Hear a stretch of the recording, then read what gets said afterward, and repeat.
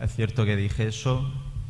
Yo os pido disculpas porque no vamos a hablar del tema. Eh, todavía hay alguna opción de, de ascenso, de primero de playoff y, bueno, hay un contrato delante. Hemos tenido conversaciones tanto con la dirección deportiva como con el presidente durante esta semana. Ellos saben lo que, lo que pienso y el lunes o el martes, si todo va bien, seguramente haya noticias, pero no lo puedo asegurar aún, ¿vale? Ahora lo, único que hemos llegado al, acuerdo de que lo más importante es el equipo, no el entrenador lo más importante es ganar en Mallorca, lo más importante es que podamos tener opciones hasta el final, que este equipo no, no se va a rendir, que va a luchar, tenemos un enfrentamiento con un rival directo y que nuestro deseo, nuestro sueño es poder ganar en Mallorca y seguir luchando.